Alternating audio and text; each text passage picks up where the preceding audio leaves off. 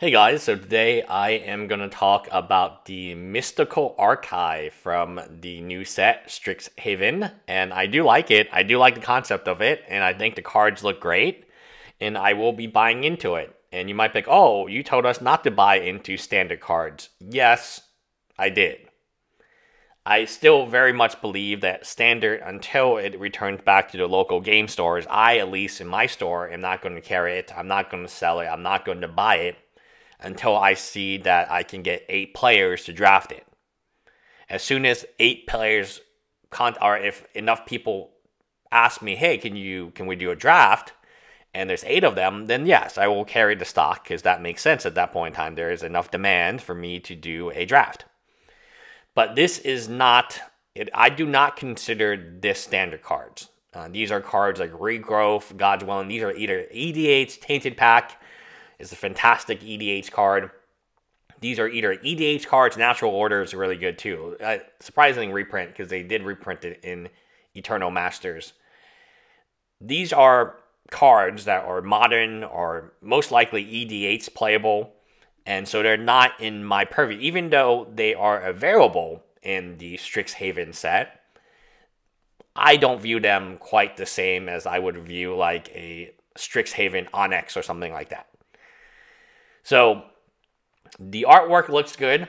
Uh, Harmonized looks great. Uh, again, you can argue whether or not these cards are powerful or not powerful. I mean, some of them seem to be like really good. Like Mind's Desire would be a fun card for EDHs, and some of them like Defiant Strike is like, uh, how did this one get in?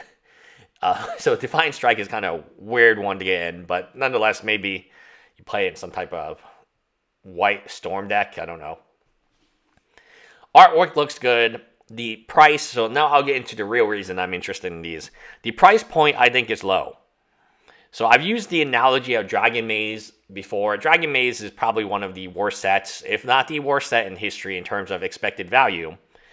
And I remember when a fat pack was going for about $20 and I said, "No, that can't possibly in standard." I was like, "That can't possibly be true."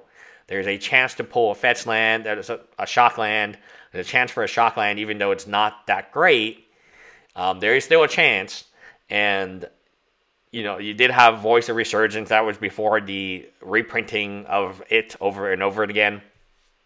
Even had the token. The token was kind of valuable at the time for Voice. So it really depends on your price point. I'm not saying these cards are amazing, amazing. I mean, look at Faithless Looting. That's actually the real artwork. When I looked at Faithless Looting the first time, I almost could not believe that was real. I thought that was somebody on MS Paint, like maybe a child, and that's what they came up with. And I was like, oh, okay. And I obviously I would not consider that artwork premium, right? this isn't what I would call collectible.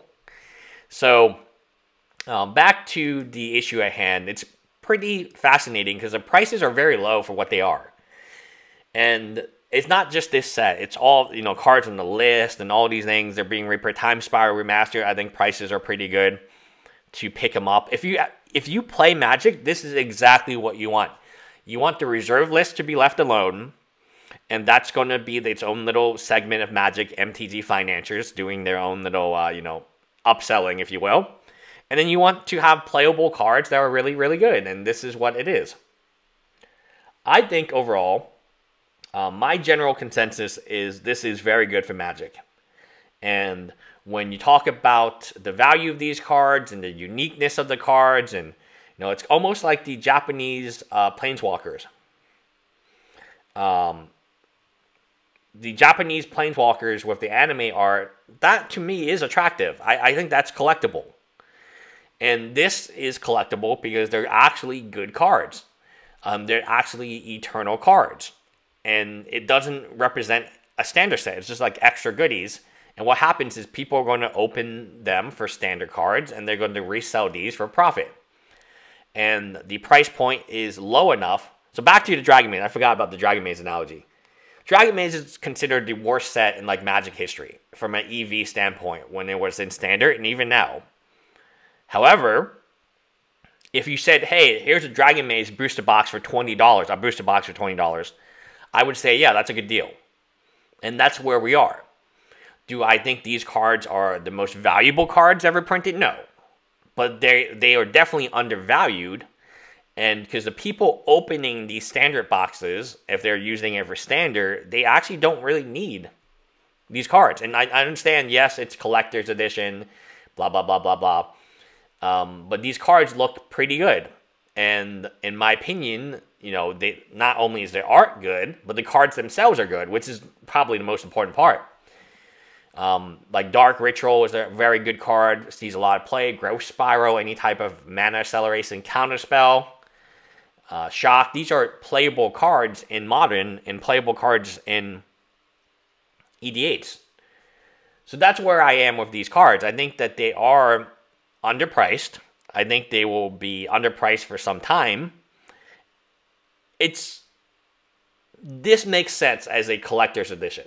Standard cards do not make sense to me for collector's edition because the majority of standard cards after they rotate, as we can see from the rotation on the Throne of the Eldraine, even though some people are hyping it up as if this was a great investment, we can see that like, hey, the cards have dropped, people are not as interested in it. If it doesn't see play, if it doesn't see play in in eternal format, most likely EDH nowadays, then why would anyone want it? The demand for it is going to be less. So regardless of what imaginary price someone throws on it, the demand. So if you had 1,000 Throne of the Eldraine Collector's Edition, you had a lot easier time selling that when it first came out than you do have selling it right now. Even if supposedly you can sell it for more money the amount of people who want to buy a box of Throne of the Eldraine Collector's Edition has vastly diminished because you do have to the the main subset of buyers at any given time is oh it's hype it's a new product oh it's in standard I can play with it it's a standard product I like this because this does not like Chaos Warp was like a 40 50 dollar card one time in an EDH deck the Spark uh, Stone Rain. I think Stone Rain is still one of the best cards, one of the most annoying cards to play with. Mana Tithe is kind of an interesting one. Didn't see that one coming. These are good cards. These are cards that, yes, you make a collector's edition of them, and people will use them for a time for a long time. This makes sense. This should be part of your collection. Should standard cards be part of a collection? No it doesn't make any sense. Like the, the standard 90%, 90 to 95% to 99%, depending on the set, of standard cards are not going to see play after rotation. So, like, what are you exactly collecting? You're collecting a depreciating asset that you know will come go down to zero. Like, why why would you pay more money for like a, a, a better version of that? And not to mention what it actually does to the draft boxes, the ordinary booster boxes. It just deflates the price. I mean, it just kills EV there, which I'm not happy with. Like Time Warp, good picture, good card, at Mythic, people will play it in EDH. Demonic Tutor, again, interesting picture. It's not for me, but I could see some other people wanting it. Great card, played in every black EDH deck possible. If it has block in the EDH deck, it's probably playing Demonic Tutor. Makes sense. Lightning Bolt. Again, I don't know why Lightning Bolt and Shock are both in the same set, but Lightning Bolt, fantastic card. So I don't see any problem with this. I like it. I think it is investable. I do think prices are low, and I think prices will continue to be low, especially after the first two weeks of cracking it. Um, I think they will dip, uh, and if you go on TCG Player, you'll be able to pick up a bunch of these for very little money you know, people are still on Time Spiral. People are going to buy the regular versions of the these cards as well. And uh, this is kind of unique. It's unique. I like I like the Time Warp a lot.